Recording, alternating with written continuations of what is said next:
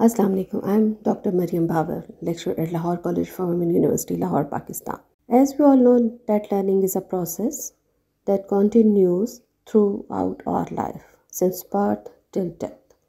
And the basic key element behind this phenomenon is considered as the reinforcement.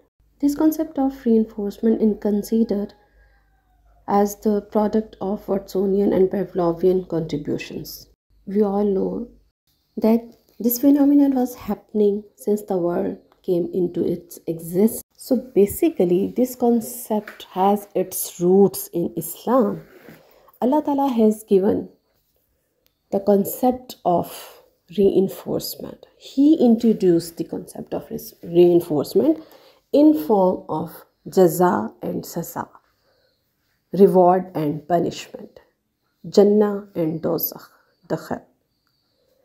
Basically हम हमेशा से centuries and centuries before were given the instructions कि हम अच्छे काम करेंगे तो हमें जन्नत मिलेगी। अगर हम गलत काम करते हैं तो हम गुनाह करते हैं जिससे हम अल्लाह ताला की नाराज़गी को अल्लाह ताला की एंगर को अर्न करते हैं। सो so, एक छोटा सा बच्चा भी इसी कॉन्सेप्ट के साथ अगर हम देखें तो छोटा सा बच्चा भी सबसे पहले जो चीज़ें सीखना शुरू करता है, वो इसी कॉन्सेप्ट पे बेस है। जब उसकी माँ या फादर या रेलिवेंट रिलेटेड अदर्स जो हैं सिग्निफिकेंट अदर्स उसके साथ किसी बात पे नाराज़ होते हैं तो वो चीज़ वो बियर नहीं कर सकता स्पेशली माँ की या अपने बाप की।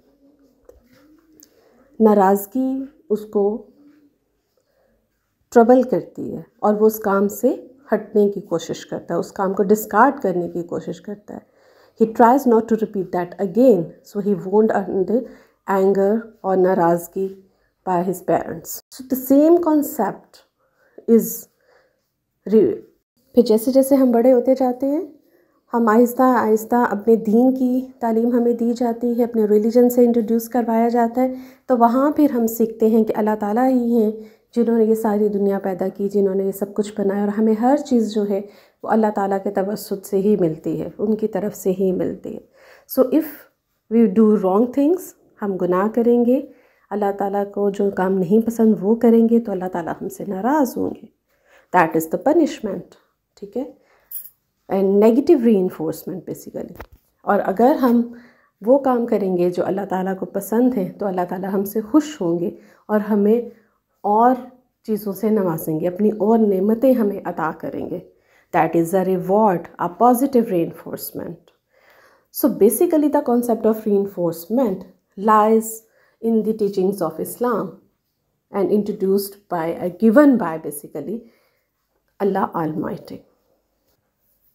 बेसिकली होता ये है कि हम सारी बातें जानते तो होती हैं शायद, लेकिन कई दफ़ा हमें एक नए तरीके से बात कहीं से पता चलती है तो दैट चेंजेस आर लाइफ इसी तरह से जब हज़रत आदम सलाम ने एक मिस्टेक की और he was sent to on earth and so world started here and that was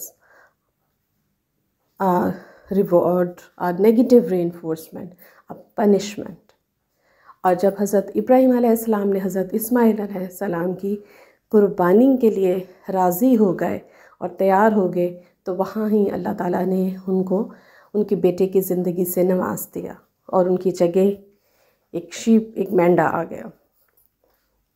So these are basically the basic so यहाँ से लर्निंग स्टार्ट हुई इंसान की, जैसे ही ज़मीन पे उसकी आमद स्टार्ट हुई। अच्छाई और बुराई के साथ अल्लाह ताला की रज़ा और नाराज़गी का एलिमेंट आया। इसी तरह से सेंचुरीज़ एंड सेंचुरीज़ अगो जब हम कुरान पाक नाजिल हुआ और उसका स्टार्ट ही सूर्य फातिहा से है, जिसमें सबसे पहले ये चीज़ एक दुआ के तौर पे रख दी गई है शामिल कर दी गई है कि अल्लाह ताला हमें उन लोगों में शामिल कर जिस पे तेरी नेमतें नाजिल हों और हमें उन लोगों में शामिल ना करना जो तेरे गज़ब के मुस्तक हों। मतलब अल्लाह ताला से हम उसमें हदायत भी मांगते हैं, सीधे रास्ता पे चलने की तौफीक मांगते हैं और फिर ये दुआ भी करते हैं। सो वहीं पे सज़ा और जज़ा पॉजिटिव एंड नेगेटिव री जन्नत एंड दोजह के साथ रिलेटेड है। तो concept of re is basically lies in Islam since the world started I hope you will like this today take care Allah हाफिज़ thank you I hope you will like it. Thank you. Take care. Allah Hafiz.